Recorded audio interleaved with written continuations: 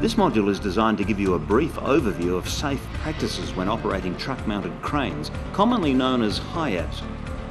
We're not going to show you how to operate them, your company should have provided training for this. It's important to keep in mind a few key points to keep you safe when working with this type of equipment. Firstly, some basic daily checks. Yes, we know it can be a drag, but a few minutes before you head out on the job could save you or someone on a worksite from some serious injury. Things like tyres, they should be correctly inflated and be in good condition.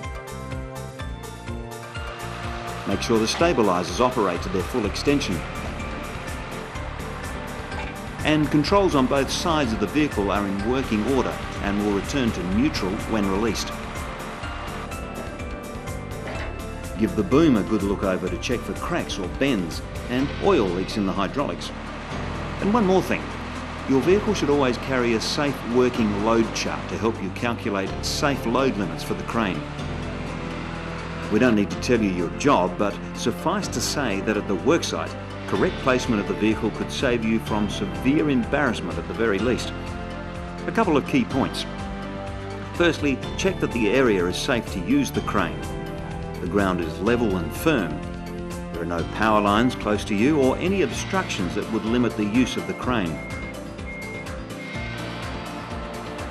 Stabilisers must be fully extended and the feet firmly in place. The use of solid packers or dunnage is recommended.